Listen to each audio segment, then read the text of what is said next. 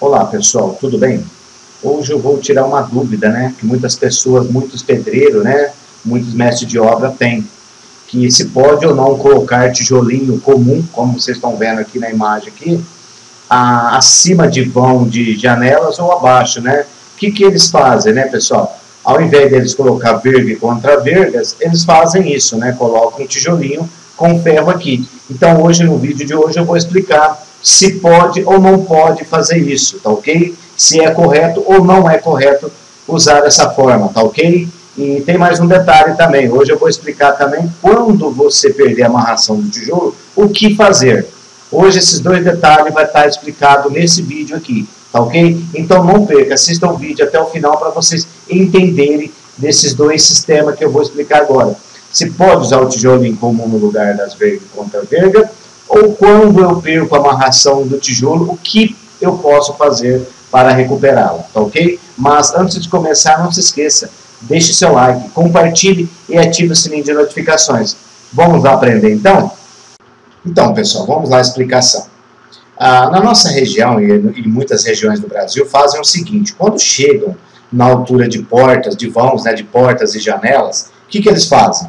Colocam escola, né, com a tábua, né, e colocam dois ferros de um quarto, duas barras de ferro de um quarto embaixo, ou ferro 5,16, certo? Colocam um centímetro e meio a dois centímetros de areia com cimento e assentam tijolinho comum, certo? É o que eles fazem aqui. Aí fazem tipo duas, duas ou três fiadas assim, mas geralmente são duas fiadas assim.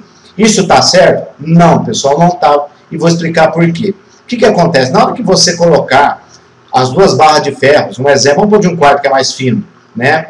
E, e, e, o, e o, cimento, a areia e cimento aqui, o tijolo em cima, não, não significa nada. Por quê? O que, que acontece? O ferro começa a dançar, o, o tijolo dança em cima do ferro. Aí não tem serventia. Com o tempo, o que, que acontece? Esse peso aqui, como vocês estão vendo na imagem aqui, ó, esse peso da parede aqui, não vou nem colocar o da laje, né, dos trilhos. Vou colocar só o peso desse, dessas, dessas quatro fiadas de tijolo aqui.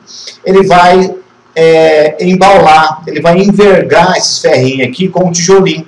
Consequentemente, vai pegar na veneziana né, ou no vitrô e vai travar, e vai pesar em cima deles, ele não vai abrir e nem fechar.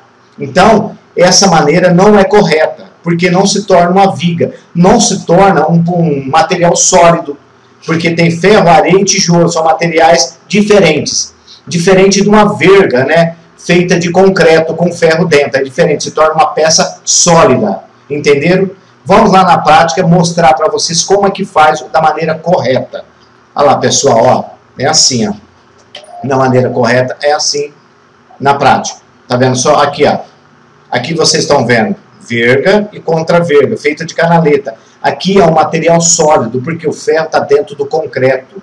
Foi enchido de uma vez só. Isso é um material igual, concreto, né? Então, olha lá como é que faz. Todos os vãos. Tá vendo aqui, ó? De, de veneziana e vitrô e de portas. Tá ok? Olha lá ó, como é que fica, ó. É isso aí, ó. Tá vendo o vão aqui? Esse vão aqui, pessoal, a gente deixou com 2,10 de largura aqui. Por quê? Né? A, a veneziana dá 2 metros, né? E a gente deixou 30 centímetros de cada lado aqui, ó, da verga e contra verga, que é no mínimo que o padrão pede, né? A norma pede. 30 centímetros de cada lado. Tá ok? Olha lá, ó. Aonde vai, vão de portas, como vocês estão vendo aqui, ó. E banheiros, tá vendo? Aqui tem um vitrozinho aqui do banheiro, a porta do banheiro, a porta do quarto. Também vai, tá, tá vendo só aqui, vai vergas. Aqui, ó, tudo como vocês estão vendo aqui. Deixa eu mostrar aqui, ó. Olha lá, ó. Aqui é do quarto, aqui como é que faz, tá ok? Tudo certinho, olha lá, ó. Tá ok? Aqui, pessoal, tem mais um detalhe. Muita gente me pergunta, ah, mas por que, que não chegou essa canaleta até aqui? Não há necessidade, pessoal. Como eu tinha falado, passando 30 centímetros de cada lado aqui é o suficiente. O que tem de travar na ferragem aqui é a cinta que vai receber a laje. É essa cinta, tem que fazer de fora a fora, tudo travadinho certinho, tá ok? Vamos lá, ó. Aqui, ó. Contra verga, né? Verga. Vamos lá. Tá vendo aqui? Aqui eu passou direto aqui, tá vendo só? Aqui, ó. Aqui tem um vão que é o mesmo alinhamento do vão da cozinha com o vão do quarto. Então a gente passou uma verga só inteirinha, tá vendo só, pessoal? Fica bem distribuído o peso. Você não, vai ter problema algum nesta obra. Olha lá, ó. tá vendo só aqui? Que também é a mesma coisa, olha lá. Olha lá, pessoal, como é que fica. Tem um vídeo anterior, pessoal, que eu explico quando é, chega pilar assim e você tem de colocar verga, como que faz. Assista o vídeo anterior a esse, que você vai ver que está explicando como é que faz com a verga para embutir ela quando dá do lado do pilar, tá ok? Assista, não perca. Vamos continuar. Olha lá, ó. Aqui, ó, tá tudo certinho, as vergas, contra vergas, olha lá. Ó. Vamos ver por dentro como é que fica isso aqui, ó. Vamos dar uma olhada por dentro aqui para ver. Aqui, ó, tudo ok, tudo certinho. Olha lá, ó. Vamos ver por dentro agora como é que tá ficando. Olha lá, pessoal. Tá vendo só? Aqui, ó, aquele vão que eu mostrei para você, que é o mesmo alinhamento da cozinha com o quarto. Essa, essa verga aqui vai de fora a fora. Aqui, ó, a do corredor, né, do vão aqui, aqui, ó. Aqui, ó. Tá vendo só? Tudo certinho. Tudo usando vergas. Olha que beleza que fica a obra. Bem distribuído o peso, pessoal. Não tem perigo de rachar parede, tá ok? Olha lá como é que fica por baixo. Fica um serviço de primeira, um serviço correto, tá ok? Olha lá. Agora, pessoal, aqui, ó. Agora sim, a cinta você tem de fazer de fora a fora. Lembrando bem, só uma dica, nunca esquecer. Antes de você concretar essa cinta aqui, que é a canaleta, passar as mangueiras da rede elétrica, né? E tubulação onde também vai canos, ela deixar tanto hidráulica como elétrica. Como vocês estão vendo aqui, ó. Aqui a gente deixou um cano aqui de 40 milímetros para passar o cano de água. E as mangueiras de elétrica, tá vendo só? Aqui tem mais mangueira porque aqui vai o quadro de distribuição de força, tá ok, pessoal? Olha lá, ó. Olha como é que fica a obra bacana, limpinha.